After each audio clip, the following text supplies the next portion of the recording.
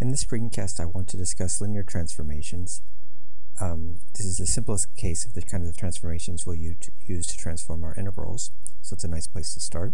What I'm particularly interested in is the geometry, so I want to discuss how my coordinates u and v get mapped under transformation t over to, to x, y. In particular, I want to focus on the sets of curves, which I'll call u and v curves. So I have curves where u is equal to a constant, which I'm showing here. So the, over here in this um, uv plane is obvious when u is equal to a constant. But these will get mapped under the transformation t also to, to, to straight lines over here in uv, depending on the coefficients of the transformation. They'll have a certain slope. There'll be curves in xy, curves in xy corresponding to u is equal to a constant. So as I say, as I trace up here, I'll have some curve over here. Then likewise, there'll be curves in which v is equal to a constant, and u varies, and they'll correspond to some, some different set of curves over here. Again, they will depend on the transformation. So these are curves v is equal to a constant. And the point is you can tell a lot about the, the transformation, about the geometry of the situation, simply by looking at this, this set of curves. So I, here I have a regular uh, rectangular grid in UV, and this will get mapped by my transformation into some still uh, regular grid, but, uh, but skewed in some way. And in particular, it will, um, so it will transform the geometry, and it will allow me to integrate over different kinds of regions here in, in XY by uh, looking at yet square, uh, or let's say rectangular regions in UV. So let's just pick one here. Let's just say, I'm not sure if this is right, but let's just say that nice rectangular region gets mapped into some general um, parallelogram here. And uh, its area will change. So even so I might have a unit area over here and there'll be some some area here. So that's just what I wanted to discuss for a particular example. I've chosen this example just one example to do. I've written the transformation here in terms of the component functions. x is a function of u and v, and y is a function of u and v. Uh, want to look at the geometry, and I want to do it um, uh, semi-quantitatively. Um, let's look at, uh, I'll look at the curves in which u is equal to a constant. I will call that constant u naught. And I want to look at what these, um, what these correspond to in xy.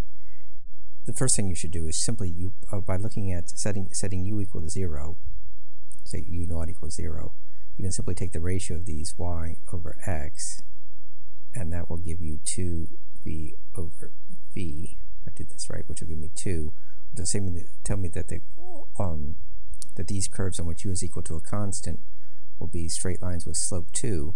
There will be some intercept which depends on u naught, and you can work it out. I'll let you do that. You just um, set u equal to a constant and then eliminate v, and you'll arrive at this equation.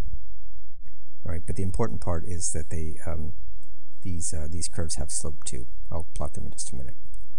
I can also do the curves v is equal to a constant. And again, just if you just set v naught equal to 0, you can take the ratio of y over x in here, and you will get u over 2u, which will give you 1 half. That is to say the curves will be uh, y is equal to 1 half x, so they'll have slope a half, and then you can work out what this constant is, and you'll see that it's 3 halves v0. All right, so let's have a go at plotting this. Again, what I want to do is I want to consider here in UV, I want to consider these this sets of curves. Let's do this one here. This set of curves. and let's do the whole thing. This whole set here. I'll draw those in yellow. These curves on which u is equal to a constant. And then I'm going to consider these this set of curves here on which v is equal to a constant. And those will be here. And I want to see how they're mapped. And I'm just going to Again, for one, one case, I wanted to do it semi-quantitatively. And for that, let me show you something. We're going to use some graph paper. Let's zoom in a little bit too. So let's draw some coordinate system for my xy. So I'm going to obsess about this just one time. Make a nice plot. All right, so what about my curves? Um, u is equal to uh, u is equal to a constant. Well, those had slope 2. So I'll go ahead and draw that's over 1 up 2, over 1 up 2, over 1 up 2. Right, so the curve's like this. Over 1 up 2, over 1 up 2, 2. Hopefully I did that parallel. So I'll draw some more in just a second. Then I have my V curves. My V curves are, have slope a half, so that's over 2, up 1, over 2, up 1. I'm going to draw another one here. Over 2, up 1, over 2, up 1, over 2, I'm going to draw one um, over 2, up. Let me not screw up. Alright, let's see, should I draw some more? I'll draw one more and hopefully it won't mess this up.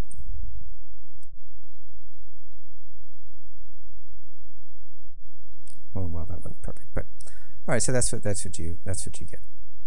So I trust you could do that. Um, you can do this algebra, and you could um, you can actually get these curves. Again, let me just emphasize here that, uh, in particular, this is the case where u is equal to zero. So if I set u equal to zero, and I'm going to increase v, I will trace out this line right here. Okay, and likewise, if I set uh, u is equal to, uh, v is equal to zero and increase u, I will trace out this line right here. All right, and then it'll be true just by adjusting these constants, I can get all these lines. All right, so the final thing is this Jacobian. Uh, the Jacobian of the transformation is the determinant of the coefficients of the transformation, or more generally, you could actually do the partial derivatives, which will give you the same thing as these coefficients. So it's the determinant 2, 1, 1, 2. Okay, so that determinant is uh, 4 minus 1, 4 minus 1 equals 3. Okay, and so just to remind you, what that means is that an element of area here, because it's linear, it's any, it's true for all areas, finite or infinitesimal. An element of area in xy will be given by the magnitude of the Jacobian. In this case, it's it's positive times delta u, delta v. And so we can see, hopefully, maybe that this is true. I've tried to draw this here. Let me zoom back in here. Again, I tried to do this quantitatively here, semi-quantitatively. This region right here that I'm highlighting corresponds to the units to a unit square in UV. And I didn't draw, actually I didn't draw UV um, uh, quantitatively, but this this line is already said that corresponds to uh, v equals zero and u increasing. This corresponds to u equals zero and v increasing. This corresponds to v equal one. This corresponds to u equal one. So this the, the unit square in UV, if I'd drawn it correctly, a unit square in UV, I'm going to go ahead and draw it here. Unit square over here in UV gets mapped by T to that region. And hopefully if I didn't mess it up by sketching over too much, you can see that this has this has area 1 and this has area 3. Let me erase it so you can see it and you can just study that. Oh, I messed it up a little bit. But see, there's area, there's one unit of area there's another unit of area up here, and there's another unit of area here. So it all works out nicely.